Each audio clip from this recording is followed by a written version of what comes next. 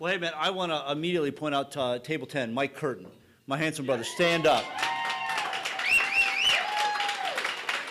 So many of my crazy dreams have made, been made true by that man. And board members like Riss Lacoste, right there. Um, I'm going to I'm to begin by paraphrasing um, Joe Strummer from The Clash. Um, you got to grab the future by the mouth. Um, you know, when I was a young man, there was a lot of talk about food, not bombs. Food is a bomb. Food is how we'll change America. Um, but I would add uh, that the work I'm, I'm really, I was, I was so proud to be able to leave Washington, a city I lived in for 40 years. But I went to Los Angeles for three reasons. Um, the great source of food in the future is going to be fruits and vegetables. We throw away 40% of the food we produce every day. Half of that is fruits and vegetables. And Los Angeles represents the, the, the great funnel, which is the Central Valley. So it's an unlimited supply. It's also the home to the biggest concentration of older people living in poverty.